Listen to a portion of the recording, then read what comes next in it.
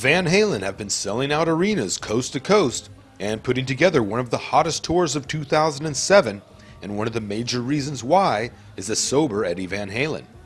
The tour, which was initially postponed so Eddie could attend rehab and get his life and health back in order, marks the first time the band has toured with lead vocalist David Lee Roth in over 20 years. But it's not only the addition of Roth and Eddie Van Halen's guitar prowess that have been turning heads. This tour also features Eddie's 16 year old son, Wolfgang Van Halen, on bass and backing vocals. Eddie Van Halen was asked at the press conference announcing the tour if he thought his guitar playing had changed with his sobriety. It's always changing. You just have to come by and check it out and see what you think. Again, usually when you talk about sobriety, everything kind of slows down into middle age.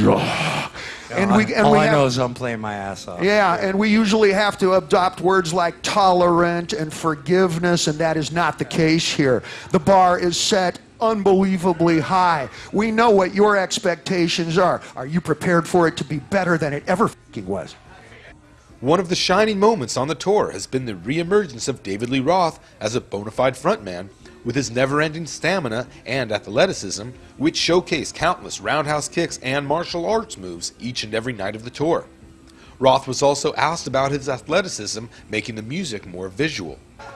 The athleticism is, I'm a lifetime martial artist. I started on my birthday when I was 12 years old.